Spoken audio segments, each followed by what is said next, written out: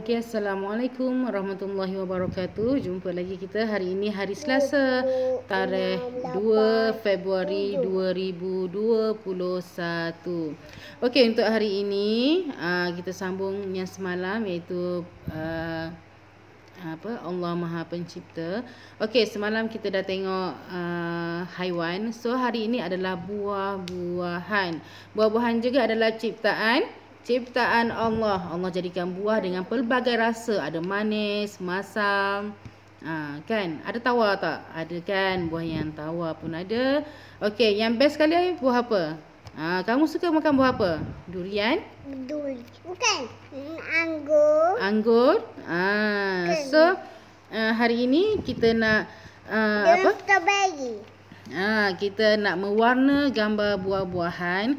Jadi cikgu harap kamu dapat mewarna gambar buah-buahan ni dengan warna yang sesuai. Ha, tak nak guna warna hitam kan? Kadang-kadang uh, ada juga yang suka warna hitam. Semua dia hitamkan.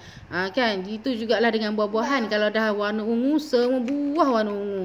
Ha, so tak nak macam tu. Jadi kamu kena uh, warna dengan warna yang betul. Okey.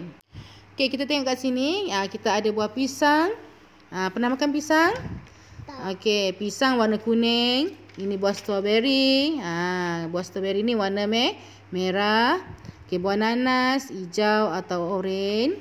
Ha, ini buah betik. Warna hijau atau oranye atau kuning. Ha, ini mangosteen ya. Um, manggis manggis warna u ungu ungu. Ha dah nak nak nak warna ungu gelap dah dan jadi warna ungu hitam kan? Ha isinya warna pu warna putih. Okey ini adalah buah oren.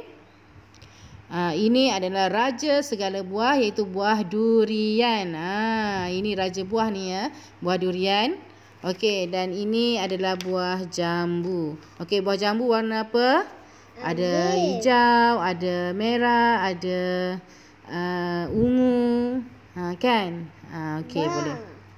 Okey, jadi cikgu harap kamu dapat uh, buat tugasan ini. Yeah. Tak perlu cepat-cepat sangat. Okey, warna cantik-cantik. Yeah. Okey, terima kasih.